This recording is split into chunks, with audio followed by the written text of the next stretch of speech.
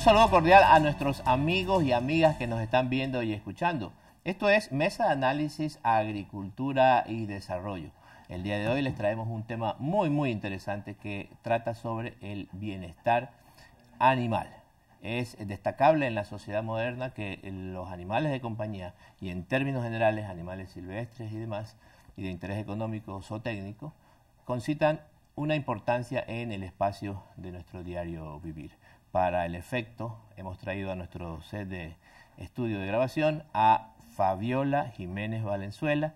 Ella es médico veterinario zootecnista con una maestría en etología aplicada. Ella es directora ejecutiva de Canoterapia Ecuador. Me parece que lo he dicho bien, Fabiola. Gracias por eh, tu tiempo. Sabemos que tu agenda es bastante complicada. Además, también eres profesora universitaria. El bienestar animal, Fabiola, eh, para que nuestros amigos y amigas que nos ven y escuchan eh, se enteren un poco ¿Qué, qué, conlleva ese bienestar animal? Mm, ya, dentro del término como tal, bienestar animal, es eh, cubrir las necesidades básicas del perro o del gato o cualquier animal. Sí. en este caso, necesidades básicas de alimentación, cuidado médico, en este caso veterinario, eh, libre de sed, eh, que esté alojado en un lugar adecuado, que tenga eh, tiempo de recreación, ya sea juego o entrenamiento, y educación, que son dos cosas diferentes. Hay las cinco libertades, pero más allá de, que estén como un término, esas serían como las más básicas para cubrir las necesidades del perro y que este individuo esté en buenas condiciones. Muy interesante. Eh, presentamos ahora pues aquí a África, ¿no? Sí, está eh, te, damos la palabra para que la, tú la presentes y nos indiques que, eh, qué es lo que ella hace. Ya, África es una terranova de cuatro años. ella tiene, bueno, ella es de México, vino de México para acá a trabajar con personas con discapacidad y problemas de conducta y autismo. Ella es una perra de terapia oh, y es nuestra perra estrella ah. dentro de Canoterapia Ecuador. Allá. O sea que es, es un miembro permanentemente en actividad en, en África es una perra de trabajo y es, bastante... Hablar del bienestar animal y sus cinco libertades se traduce no solo a los animales de compañía, no solo a las mascotas, sino a todos los animales que están pues aquí en, el planeta Tierra. Se dice, por ejemplo, eh, los animales silvestres no son mascotas y se trabaja mucho desde la academia en concientizar a las personas de que, de que no compren en la calle animales eh, silvestres, porque eso promueve más eh, la cacería y, la destrucción de su, de su ecosistema, de su hábitat. Y eh, también de las especies animales de interés económico. En las granjas, por ejemplo, el bienestar animal tiene que ponerse de manifiesto también. Sí, este, lo que decía, dentro de lo que es fauna silvestre, eh, no debería existir el tema de estos animales introducirlos en una fauna urbana, porque no es su hábitat. Entonces, si no se cubren las necesidades básicas y etológicas del animal, estamos eh, degenerando, estamos generando estrés y por lo tanto vamos a, en algún momento, extinguir esta especie. Y en cuanto a los animales de granja, eh, sean de abasto, de consumo, lo que sea, deben igual de cubrirse sus necesidades. En este caso, ¿para qué cubrir el bienestar del animal de granja? Para mejorar la producción, ya sea de leche, de carne, eh, de, lana. Este, si tienes las necesidades cubiertas, tienes un animal con mejor producción. Podríamos decir que si tenemos un animal feliz, es un animal productivo. Exacto. Y una persona que en su momento va a tener el retorno de toda esa inversión que está generando. Claro. Fabiola, indicamos que es importante que el bienestar animal eh, en todos los animales, en todos, se ponga de manifiesto, inclusive también hasta en los animales de, compañía. Pensar que tal vez eh, el solo que tenga agua y comida es necesario para nuestra mascota es un error realmente. Es exactamente, o sea, más allá de, darle solo comida y agua, también se tiene que generar educación y entrenamiento. ¿Educación para qué? ¿O cuál es la diferencia entre los dos? Educar es darle reglas en casa, o sea, las reglas de convivencia para tener una, una, una relación familiar mucho más estable. Y el entrenamiento es enseñarle los comandos básicos, siéntate, échate, quédate quieta, que caminen juntos, para facilitar esa convivencia. ¿ya? Este, y dentro de eso, la educación también para qué sirve? Eh, para que tú puedas tener a tu mascota contigo en todos los lugares que quieras y va a ser aceptada siempre. Entonces, si tienes un animal educado, tienes un animal bien portado. El animal eh, se habitúa a las personas. Es posible que pudiera darle estrés también el ver en un momento determinado a, muchas personas reunidas. Sí, porque depende, depende de lo que está acostumbrado. O sea, si tú tienes a, un perro o un gato que está acostumbrado a estar con dos, tres personas siempre y de repente lo pones entre 10 y 20, se va a estresar porque es un ambiente nuevo, es este, una situación nueva. Somos de costumbre entonces. Todo animal es de costumbre. Yo recuerdo esto porque eh, alguna vez me tocó trabajar en una granja avícola y hubo que cambiar, cambiar al galponero de ese momento, en una granja avícola de postura y este galponero le gustaba cantar, ¿no? Y entonces todas las gallinas estaban asustadas del canto de él. Y eso, eh, eh, ese estrés genera la diferencia en producción entre un día y otro. Exacto. Este, y en los perros igual, los gatos igual, se estresan y dejan de comer o empiezan a tener otros comportamientos que no han estado habituados a hacer, a ladrar, a rascar, este, a ser incluso a veces agresivo por el mismo estrés. Claro, inclusive en algunas eh, fincas de, de, ordeño, en algunas haciendas lecheras, a, la, a, la, hora que inicia el, el, el primer ordeño, pues sintonizan la radio para que eh, pues eso las relaje un poco y ya los animales se habitúan a, esa alguna vez estuve en una hacienda este, lechera y estaban acostumbradas las vacas a tener música clásica. Música clásica sí y tener un microclima y las, las vacas tenían una producción altísima. Entonces ya están adaptadas a eso. O sea, el buen este trato, el, el, garantizar ese bienestar animal sí que hace, eh, le da confort, eh, y por ende pues eh, un animal pues bien, bien tenido, bien mantenido, eh, confortable, pues un animal, como ya decíamos anteriormente, productivo.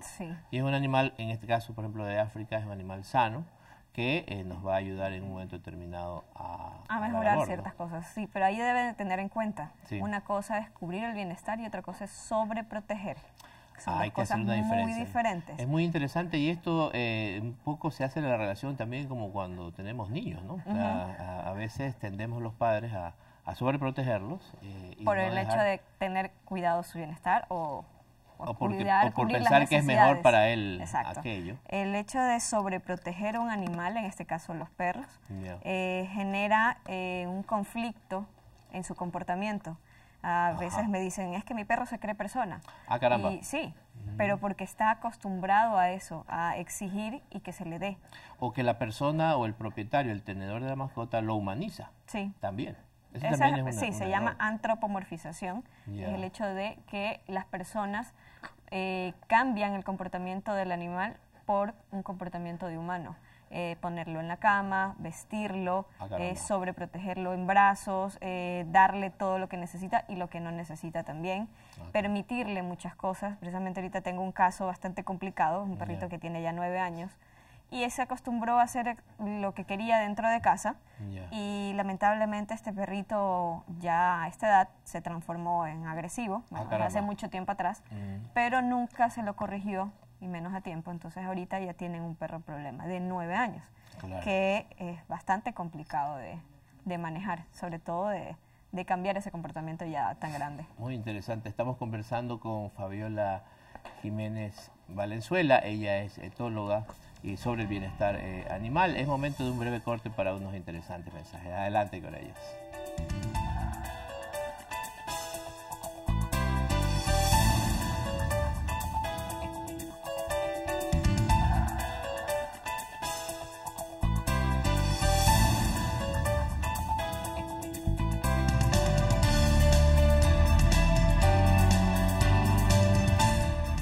Gracias por su tiempo de espera. Estamos hablando sobre bienestar animal con la etóloga eh, veterinaria Fabiola Jiménez. Fabiola, decíamos que es importante que el perro tenga, en este caso, ¿no? El animal de compañía, y bueno, aquí con África, un perro, tenga normas, tenga reglas. ¿De qué manera quienes eh, no hemos estado habituados a ponerle normas y reglas a nuestros animales, eh, podemos empezar, dijiste, a educar y, entrenar, que no es lo mismo. Eh, para, para que nuestros animales pues puedan convivir mejor con, nosotros. primero para seleccionar un animalito que vaya a tener eh, en casa, eh, siempre debe de pedir asesoramiento, pedir asesoría al veterinario clínico o al etólogo para saber qué tipo de perro se acopla a su rutina de familia. Ah, porque si tenemos, no es cualquier raza. No es cualquier raza ni cualquier perro, como ahora hay tantos este, perritos de la calle o perritos mestizos que necesitan hogar. Este, se tiene que observar no solo el tema físico, sino comportamental. Ah, este, en este caso, como les digo, eh, tener una rutina de familia, saber cuál es esa rutina. Si tenemos una familia activa, que es deportista y que sale, eh, no vas a tener un perro que tenga eh, características de perros falderos, por ejemplo, eh, un Shih Tzu o un, no sé, este maltés, que son perros pequeños que no son muy deportistas, o sea, que son activos pero que no te van a correr 3, 5 kilómetros en media hora. Este, o no vas a tener una familia sedentaria que normalmente no sale y, tienes un, perro, de actividad alta. Claro, sobre todo cuando son muy jóvenes. Eh, es complicado, complicado tener ese tipo de, perros y ahí es cuando se dan los problemas de comportamiento porque no se cubre sus necesidades etológicas, o sea, con necesidades de actividad, de interacción, de educación, de descanso y todo lo demás. Claro. Actualmente la cultura eh, indica que eh, nosotros ya no tengamos más perros de raza, sino más bien apoyarnos, comprar perros de raza, sino más bien eh, apoyar eh, el rescate, la recuperación, la reintegración o reinserción, podríamos decir, a las familias de los perros que ya, ya están pues eh, viviendo en las ciudades. Hay inclusive ahora centros de rescate en donde, pues bueno, si tú necesitas un, animal de compañía, puedes ir, puedes acudir y, seleccionar en función de lo que acabas de mencionar. Sí, sí, se puede, se puede sacar tantos perros en la calle porque necesitan un hogar. Y ahora, ¿por qué se dan estos perros en la calle? por irresponsabilidad de otras personas que no supieron educar a su perro a, tiempo, esterilizarlo sobre todo, porque el hecho de tener un perro en casa no es una máquina para hacer perros, este se necesita esterilizar, se necesita cuidar, vacunar, desparasitar. esos son gastos que se generan. son gastos que se generan. No es tener por tener un animal. Aparte de la alimentación también. Antes el perro comía lo que sobraba de la mesa de la cocina. sí, a veces me preguntan por qué antes habían menos perros enfermos que ahora. Sí, efectivamente, eh, la comida comercial a veces tiene muchos preservantes, eh, pero más allá de eso es el tema de cómo cuidarlos. Se puede tener un perro mestizo en casa, se debería, pero siempre y cuando se tiene que observar las conductas y los comportamientos de estos perros, ah, porque no todos los perros se acoplan a todas las personas. Ya, claro. Y en este caso, eh, para nuestros amigos que nos ven y escuchan y están interesados en, tener un animal de compañía en sus casas, ¿a qué edad es la adecuada para empezar su educación? La educación apenas lo tengan en casa. Inmediatamente, desde que llegó el primer día. desde que llegó. Primero tiene que adoptar al perro o comprarlo o adquirirlo, lo que sea, a partir de los dos meses de nacido. Dos meses. No antes, porque le está quitando la etapa de aprendizaje maternal, o sea, que se identifique como perro y que aprenda las características y lenguaje del perro. Si lo adopta antes, le cortará todo eso y va a tener un perro problema y no una mascota.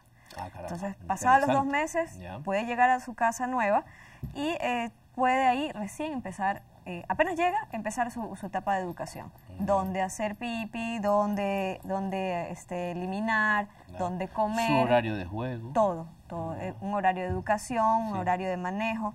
Todo el perro tiene que adaptarse a la rutina de la familia, no la familia el perro. Entonces, tiene que aprender a quedarse solo, tiene que aprender a no destruir, pero el perro no llega aprendiendo, se le tiene que enseñar. Ah, y es la familia la llamada a enseñarle qué es lo que se le permite y qué no. Y esa es la educación. Y en tu caso como veterinaria etóloga, eh, me, nos decías algún rato, yo no tengo consultorio, si mi consultorio es la casa donde vive eh, el entorno familiar, digámoslo así, de, la mascota como tal. Exacto, porque el eh, cambia el comportamiento del animal fuera de su, de su ambiente. Ah, cuando yo lo llevo al veterinario ya cambia por completo. expresa de otra manera. Sí, por el estrés, por el manejo, por olores diferentes, ruidos diferentes, todo genera estrés y ansiedad. Por eso prefieres visitarlo tú en, en su propio ambiente, porque ahí yo me voy a dar cuenta dónde está, con quién está, dónde se desenvuelve, qué es lo que hace, eh, cuál es su ambiente particular y dónde se desarrollan los problemas de conducta que normalmente se dan. Por ejemplo, agresividades, ladridos, hiperactividad, eh, problemas de eliminación y todas esas cosas. Normalmente nos gusta que nuestras mascotas sepan hacer algún algún truco, ¿Algún algo, especial. Eh, ¿Cuál sería la, edad más aconsejable para entrenamiento, que sería el producto de...? El entrenamiento en obediencia básica, como les digo, el sentado, echado, quieto y que caminas eh, juntos, igual desde que llega, ¿no? Eh, pero ya a partir de los cuatro meses ya se le puede enseñar específicamente ese tipo de manejo. Claro. De ahí aprender un truco, el propietario a veces o la persona tenedora eh, le gusta que dé la pata, que dé vueltas o que se haga el muerte, cositas así que se les puede enseñar, pero que sepan de que eso en qué les va a ayudar en el día a día. O sea, ¿para qué es funcional ese tipo de cosas? Claro. Y en el caso de África, que ella ya es un perro especializado, ¿podríamos sí, decir? Sí, ella es una perra de terapia. Eh, ella tiene el tema de obediencia media, y avanzada. Eh, ¿Esto qué quiere decir? Aparte de saber sentarse, quedarse quieta y esto, y a veces comportarse. muy, interesante. y a veces hace otro tipo de que, Gracias por, tu, por tus explicaciones que nos ilustran muchísimo a todos nuestros amigos y bueno, en, lo particular también a mí. Se nos ha terminado el tiempo de este, de este bloque. Nos gustaría que mirando tu cámara un mensaje final e invitándolos a la feria en la que vamos a participar entre el 23 y 24 de, octubre, perdón, de, septiembre, aquí en Guayaquil. Míralo tu cámara. ya, listo. Eh, mira, están invitados. Eh, vamos a participar en la parte junto con la universidad, enseñando lo que es etología, y en la parte personal para demostrar lo que hace un perro de servicio y lo que hace un perro mascota y aparte problemas de comportamiento que se lleguen a presentar, por ejemplo, vamos a tener actividades de eh, uso adecuado de juguetes interactivos o de objetos interactivos para eliminar el estrés y la ansiedad en los perros. Muy bien, pues muchas gracias Fabiola Jiménez Valenzuela, médico veterinario zootecnista, máster en eh, etología aplicada. Eh, vamos a hacer un breve corte y al volver vamos a estar hablando con los representantes de Marketing Lab, quienes son los organizadores de la Feria Mascotas, ah, Guayaquil Mascotas 2017. Sigan en nuestra sintonía.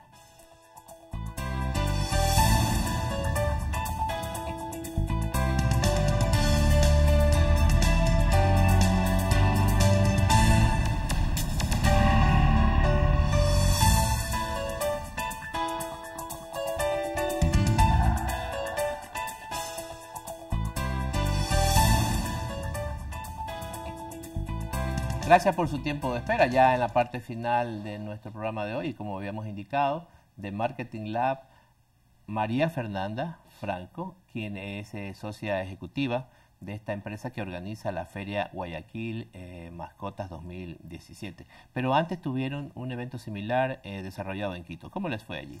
¿Qué tal? Muchas gracias por la invitación. Sí.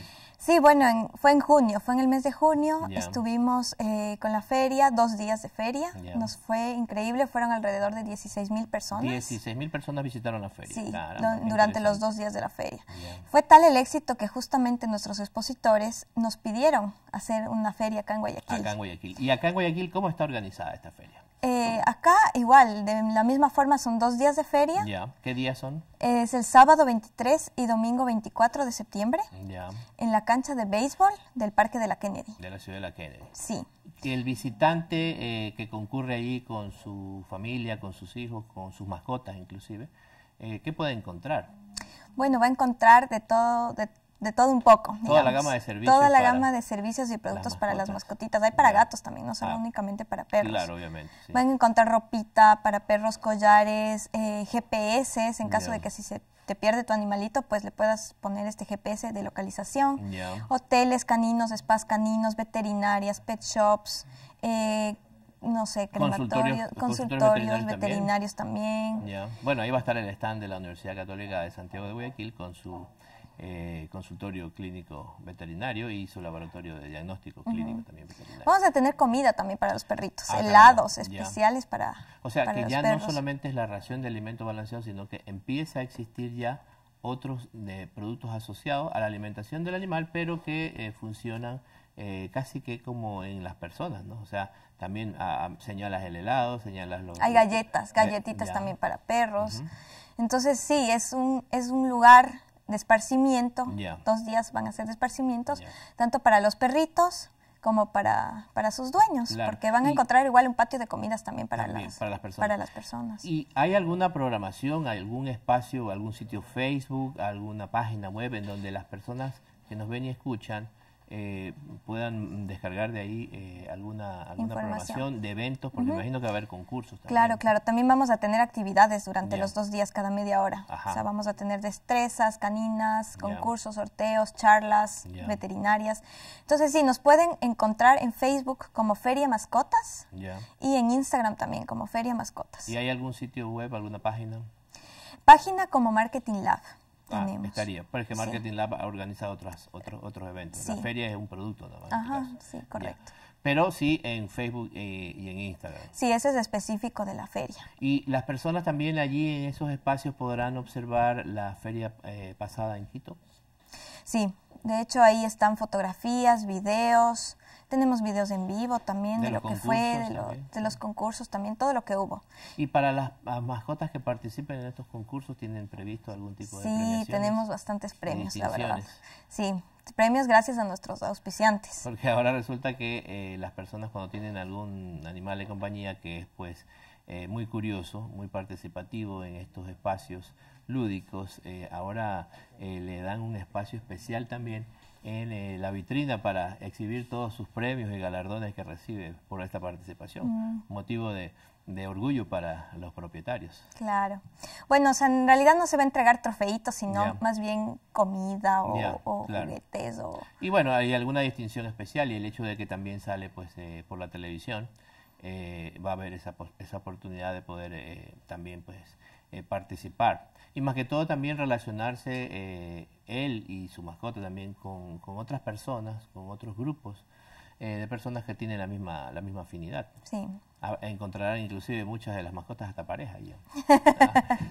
sí. veamos. Vamos a tener también eh, fundaciones de rescate animal ah, que van a estarnos acompañando. Sí. Sí, Porque ahora pues hay, hay la conciencia de que el animal pues no debe estar en la calle sufriendo, sino que debe estar en un espacio especial hasta que alguna familia necesite eh, un animalito de compañía y pueda pues sí queremos fomentar la adopción más que nada claro muy interesante. Nos eh, gustaría que nos recuerdes por favor las fechas y el horario de la feria. Eh, mirando a tu cámara para que lo puedas indicar.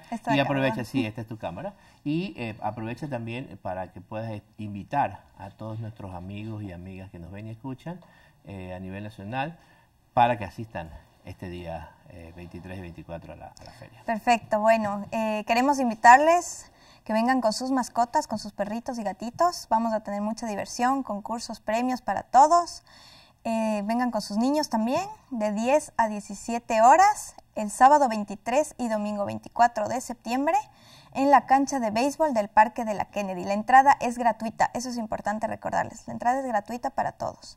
Muy interesante. Muchas gracias María Fernanda Franco por tu participación. Sabemos que tienes una agenda muy complicada por este día de la, de la feria, pero en todo caso, pues bueno, estaremos presentes por ahí también en la feria interactuando con los visitantes. Muchas gracias a ustedes también por su tiempo, que nos siguen semana a semana, por escribirnos a nuestras redes sociales y también a nuestro correo electrónico que aparece en pantalla o llamarnos también a los números eh, telefónicos. Soy John Eloy Franco Rodríguez y esto ha sido Mesa de Análisis, Agricultura y Desarrollo. Que estén muy bien.